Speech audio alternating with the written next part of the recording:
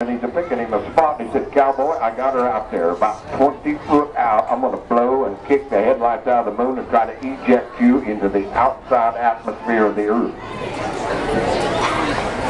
King, or Gus King, excuse me, Gus King, the cowboy. I'm ready, Gus. Here we go. Look out. Big horse. Cowboy up. Cowboy up. Gus. Cowboy. Got him cracking his neck right there. This horse is kicking hard to try to buck the cowboy down. King kicks up alongside and gets him gathered up before the storm, and we got it done right there.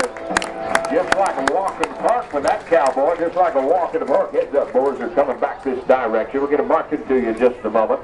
Time to bidders, be ready to go. We're sliding down to you there at the caps open end of the fence. That old sunshine has dropped down to where it's right in my eyes. Will be for about another 45 minutes.